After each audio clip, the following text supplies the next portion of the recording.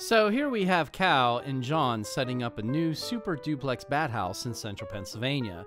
The super duplex really hits the sweet spot for a bat friendly structure that is easy to install and is relatively low cost. They provide enough capacity for the bats to put on a good show when emerging and an especially good show whenever they return. It is built starting with two 4x6 by 16 foot treated posts and some simple framing made from 2x6 boards.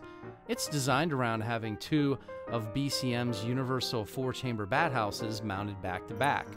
BCM's four chambers are actually made of a thick plastic shell for long life over wooden baffle cores that the bats live in.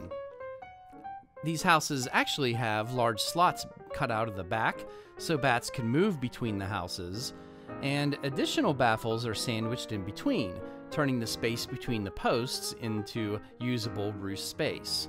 Aluminum flashing is tight over the roof, really extending the life of this structure.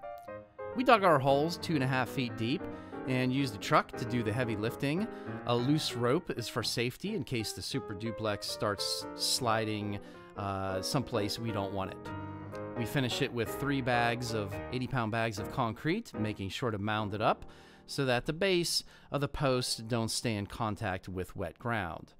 The super duplex might hold 500 or more bats. Add two more four chamber bat houses to the ends, and the capacity would be almost a thousand. This is enough bats that they will still be emerging even after it's too dark to see them at dusk. The modular aspect of this design makes it perfect to add roost space whenever the colony takes off and keeps cost and, and installation hassle to a minimum at the start.